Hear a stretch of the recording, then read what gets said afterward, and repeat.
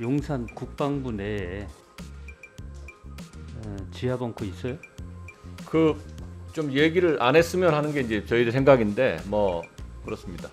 네, 지하 벙커 있냐고요? 왜 안 해죠?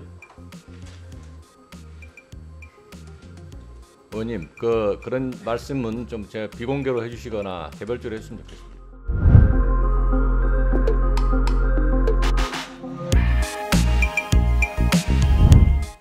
조감도 놓고 지하 벙커 위치가 어디에 있으며 지하 통로가 어떻게 구성돼 있으며 그런 얘기를 당선자가 했지요.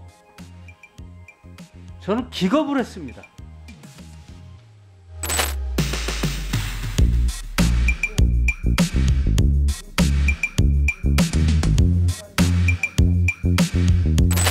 지금 장관께서도 그 말씀을 지금 못 하시는 거예요.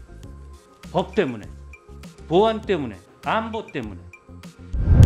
지하 벙커 있냐고요?